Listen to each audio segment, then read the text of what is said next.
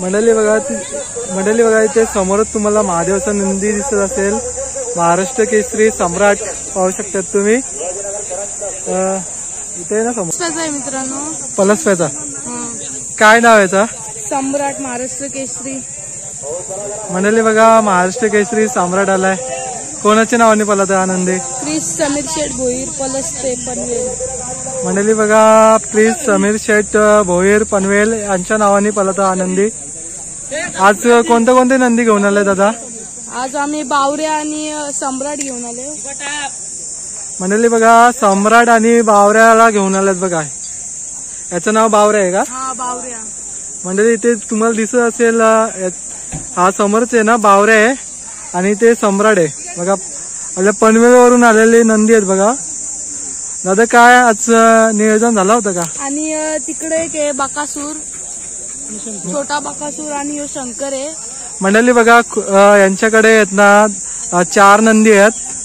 इकडे बघा समोर तुम्हाला महादेवचं नंदी दिसेल. याचं नाव काय? याचं नाव शंकर आहे आणि त्याचं नाव बकासूर आहे छोटा बकासूर.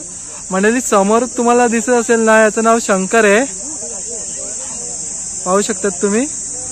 आणि पुढे दाखवतो तुम्हाला नंदी आणखीन एक. मंडळी बघा समोर तुम्हाला दिसत असेल बघा. महादेवाचा नंदी याचं नाव काय? छोटा बकासूर. छोटा बकासूर. हा कोणाच्या नावाने पल- पलत आहे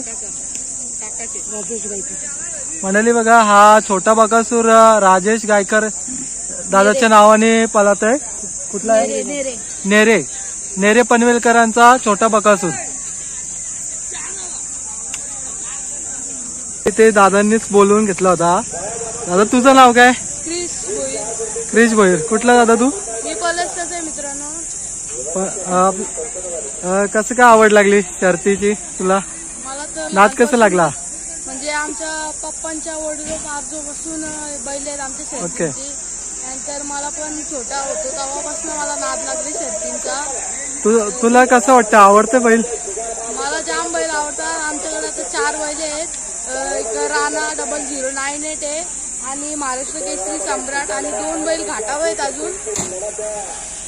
मंडळी बघा हा दादा भेटलेला याचा पण युट्यूब चॅनल आहे. तर तुम्ही नक्की सबस्क्राईब करा. क्रिश प्लीज गोयल ब्लॉग मित्रांनो चॅनल सबस्क्राईब करा. मी माझे पण कंटेंट